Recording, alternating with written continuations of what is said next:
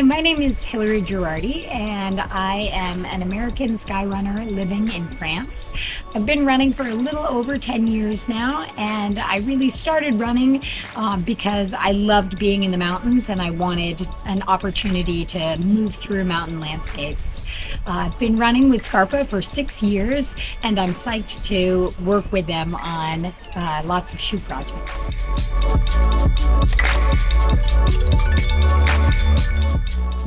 I grew up in a rural area, um, not really in the mountains, but definitely I spent a lot of time outside. And my family was always involved in environmental causes and really um, helped me open my eyes to uh, really observe everything that was around me.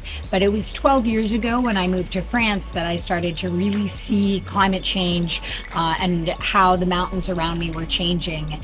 And so that's had a big impact on um, a lot of my own values and how I want to live my life.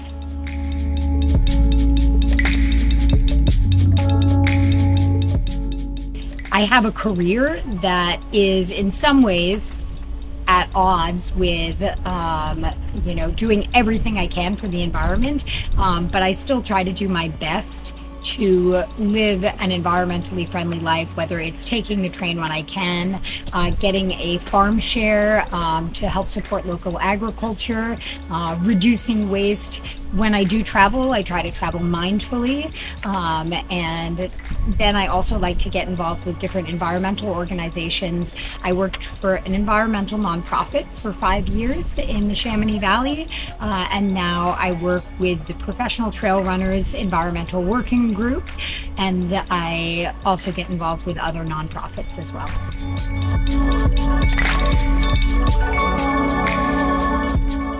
Working with Scarpa to help develop the Spin Planet has been a really important process for me because uh, it is the crossroads of two of my passions, uh, which is trail running and uh, sort of working on environmental issues. And I think that it's really important. We're at a turning point where we need to be moving the needle in the right direction.